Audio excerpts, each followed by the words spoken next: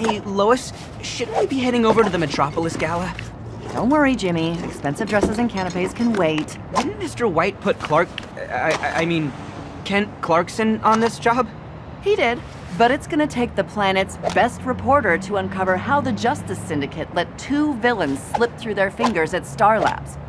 Call me suspicious, but there's something not quite right about those Justice League replacements. I mean, one of them's called Deathstorm. What kind of a hero name is that? Once we're done, we'll go to the gala. Oh, great! I don't want to miss those canapes.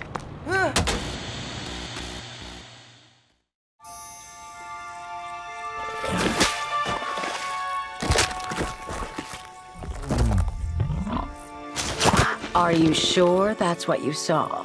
Sure, positive and certain, Ivy. The new guys just zapped the old Justice League clean away. But the news says that. The news. You don't understand, Red. We're the bad guys, but they're the worst guys. If Mr. J wasn't banged up in Arkham, I'd figure out a way to stop those no-good do-gooders. Oh, Boxy, use all I got to remember Mr. J by. There, there, honey. You can stay as long as you like.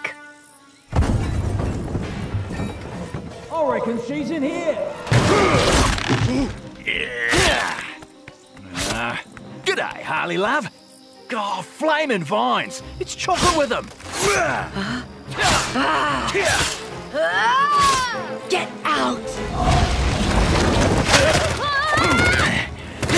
I'll protect you, Harl. Ivy, wait!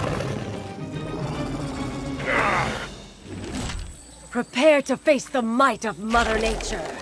No one tries to uproot a friend of Poison Ivy's. Nice going, Boomerang. You've got a real way with people, you know that?